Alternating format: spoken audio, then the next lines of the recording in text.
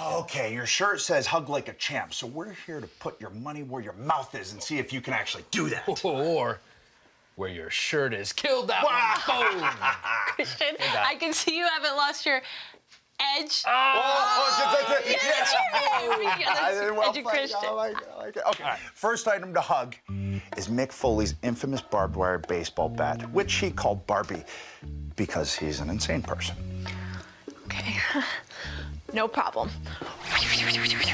Whoa, whoa, whoa! Did you did you see that? You Yeah. Damn it. you suck. Yeah. Whoa. All right, all right, all right. You passed that test, but can you hug our truce little buddy, little Jimmy?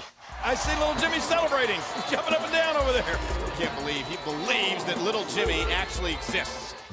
One second.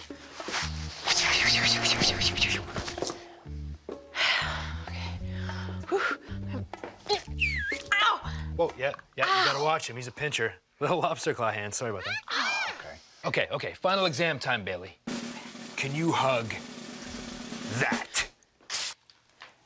Innovator of violence. Oh, yeah.